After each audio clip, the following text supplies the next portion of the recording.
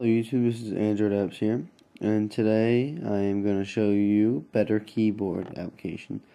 And this is what you're looking at right now. This is the iPhone themed keyboard, supposedly. And um, it works in landscape too. Once I flip it over. It's a pretty nice spacious keyboard. And it vibrates and clicks when I press it.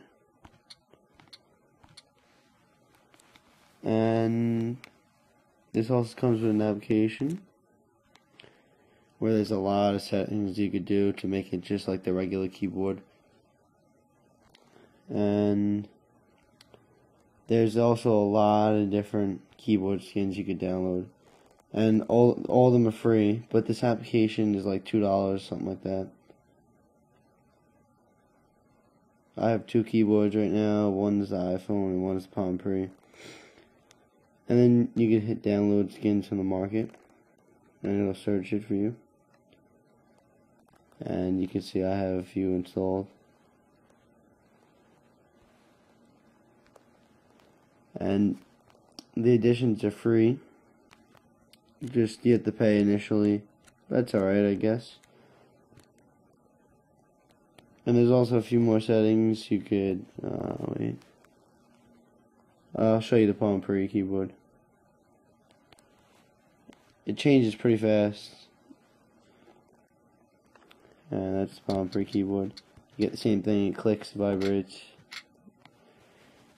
And say I didn't want it to click and vibrate, you could change the setting. Oh, I, I gotta show you the gestures.